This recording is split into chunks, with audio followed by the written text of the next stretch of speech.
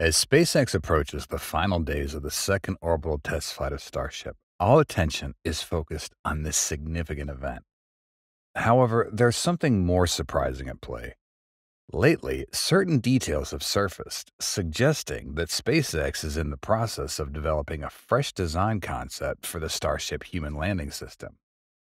With unique features unlike any other before, this new design shows SpaceX's meticulous plan for the future like never before. So, how does it change? Join us to explore this new design for HLS in today's episode of Alpha Tech. Since 2021, when NASA announced the contract with SpaceX, we haven't seen any updated information about what the Artemis will land on the moon with later this decade.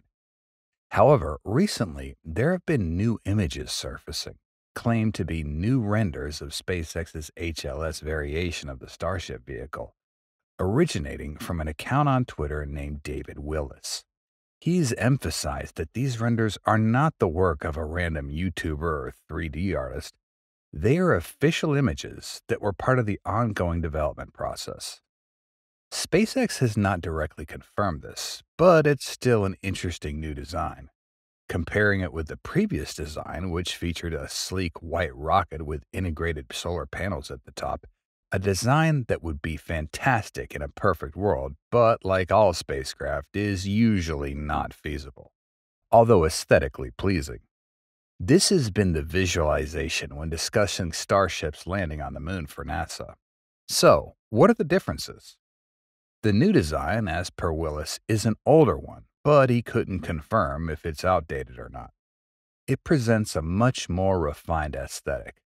We can see three big changes to the rocket. The first is the solar panels now being deployed from bays at the top of the rocket. While in flight, they can fan out similar to how most spacecraft do solar panels.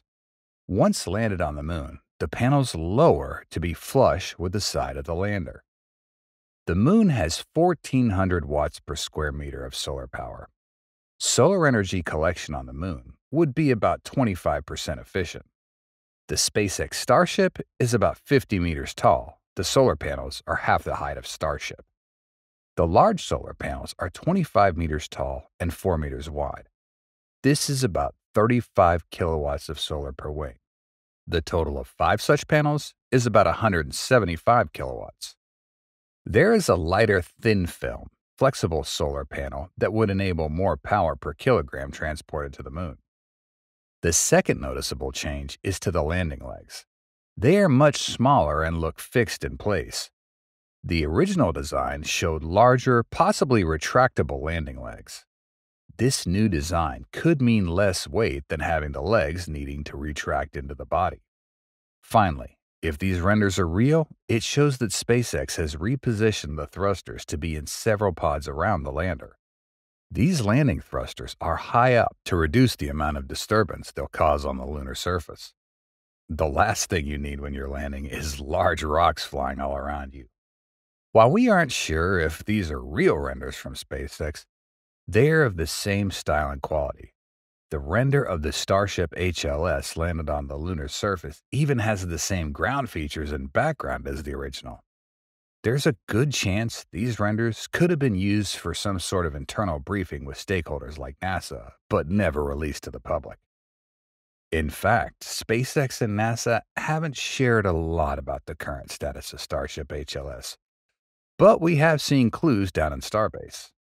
By clues, I mean we've seen some nose cones with HLS written on them down at Starship's production facility.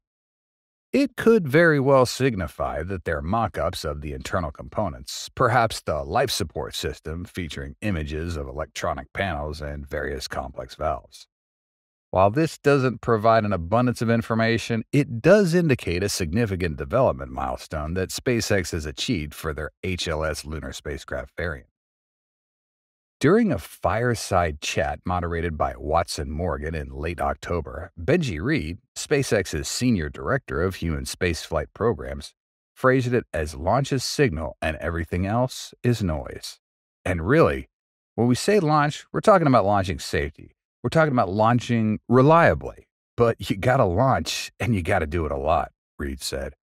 And the beautiful thing about the Artemis program and all these different players and everyone working together under Artemis is that all these tests and all these launches and all these vehicles and everything that's happening are all part of that signal launch and test and go. Watson Morgan said her past experience as the deputy director of the engineering directorate at MSFC and more than 30 years as an engineer and manager leads her to fully support and cherish SpaceX's approach to getting its lander ready. However, she added, I'd be remiss if I didn't say we're concerned about the SpaceX schedule for HLS, and the concern is that our critical path, even today, goes through these test flights. Watson Morgan and her team are eager to see SpaceX return to flight, stating that they'd like to see around 15 to 17 launches of Starship en route to the crewed landing during the Artemis 3 mission. She said because SpaceX ticks off several objectives with each flight instead of getting everything done before launching once, these test flights are critical for developing the hardware that'll eventually be used to support the HLS program.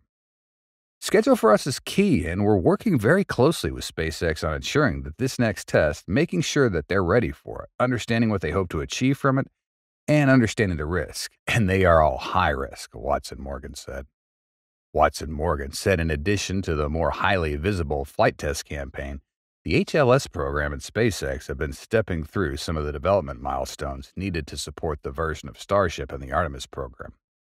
We had a cold start Raptor vacuum test that was recently completed. They're also working on smaller thrusters, Watson Morgan said.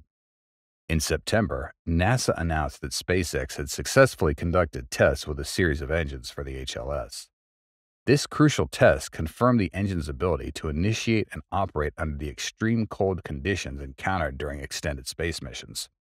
A notable distinction of Artemis missions from those in low Earth orbit is the potential for the landers to endure extended periods of inactivity in space, subjecting the hardware to temperatures far lower than those experienced in shorter missions closer to Earth. One of the earliest milestones achieved under SpaceX's Artemis 3 contract, dating back to November 2021, was an engine test that carried immense significance, says NASA. The test served a dual purpose First, it demonstrated the Raptor engine's capacity to modulate its power output dynamically over time, a critical feature referred to as the throttle profile. Secondly, it substantiated the engine's capability to sustain stable operation for the entire duration of the power descent phase. The favorable outcome of this test filled NASA with early confidence in SpaceX's engine development endeavors. The next milestone in SpaceX's journey toward lunar exploration encompasses the comprehensive testing of the Raptor engines during the company's second integrated test flight of the Starship and Super Heavy launch vehicle, according to Kathy Lueders, SpaceX's Starbase general manager. Earlier this year, SpaceX launched its first fully integrated Starship rocket that made it almost to stage separation. Since then, the company's had to wait for regulatory approval for its next launch. SpaceX's Vice President of Build and Flight Reliability, Bill Gerstenmaier, said during a hearing last month that the FAA needs at least twice the resources that they have today for licensing rocket launches. While the FAA has completed as much as it can in the Starship review, it's waiting on the U.S. Fish and Wildlife Service to complete its consultation before it can sign off on another launch. In fact, Fish and Wildlife Service was also back cleaning up the debris talked with Texas Park and Wildlife, and the reason nothing was done for a long time was not to disturb bird nesting. They also made it clear that it could take a long time to pick up every last piece of concrete without stressing the wildlife. Had the regulatory process been completed at this point, the potential of a launch on November 6th, as documentation points towards, would have been on the cards. SpaceX showed during the maiden flight of Starship they can move into a launch stance within days of approval.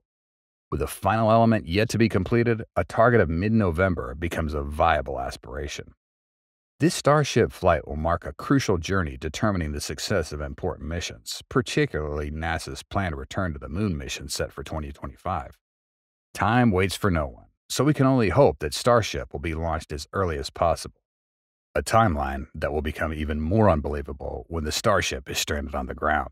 That's all for today's episode. We hope you enjoyed it and learned something new. Please let us know what you think in the comments section below. Your feedback's very important to us and helps us make better videos for you. Thank you so much for watching and see you next time.